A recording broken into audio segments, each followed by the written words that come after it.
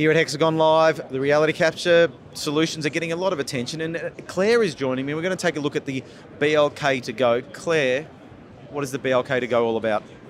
Well, the BLK2GO is all about mobility and uh, you know capturing data really quickly and safely, walking through spaces, capturing that geometry, bringing it back, and creating deliverables. But the key here is really the speed. I think you know where you can capture geometry, you can go through a construction site, you can get floor plans, you can get cross sections uh, really quickly. And typically, from what we've seen, is probably about 10 to 20 times faster than terrestrial, you know, tripod-based scanners. So it's an awesome device, you know, in terms of data collection.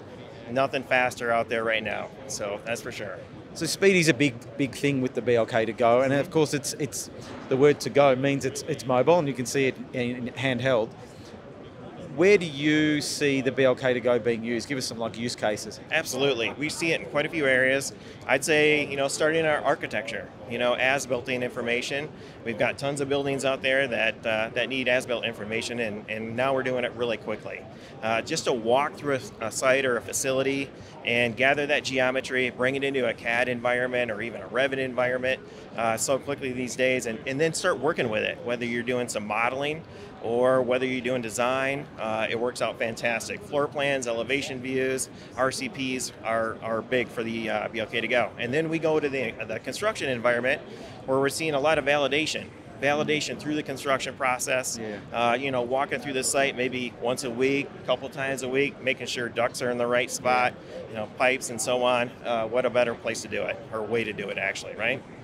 Well, give us an example of the workflow with the BLK2GO because it is easy to use. So, at a high level, what does that workflow look like? Yeah, it's it's super simple. It's something that you can train somebody in five minutes.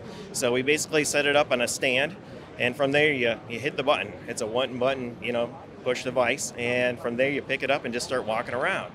Uh, at the end of your scan or the end of your walk is what we call it. You set it back down on that stand and shut down. And the cool thing is, I think, is the app that you know accompanies the scanner, where you can monitor uh, the battery life, you can monitor different things, you can visualize the point cloud as you're going through it and QC it. It's it's just a great experience. Uh, you don't have you know different battery systems or cords hanging off this thing. It's just super easy just to walk around with and collect information really quickly. So once that is collected, uh, we connect the uh, device to a computer, USB-C cord, so it's a quick transfer, and then we import it into our Register 360 program and go from there.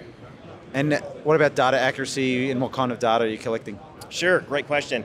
Data accuracy is a little bit different with a mobile device. It does open up in accuracies a little bit. You're more in that half inch world versus quarter or 16th inch world with terrestrial scanners, right?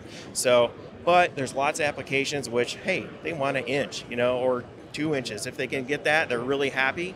And uh, with this, you're getting down to the half inch world, so it really fits in a lot of different applications. Well, as you can see, if you're looking for a fast reality capture solution, something that's mobile, easy to get up and running, then take a look at the BLK2GO. Visit leicageosystems.com and you can find out more.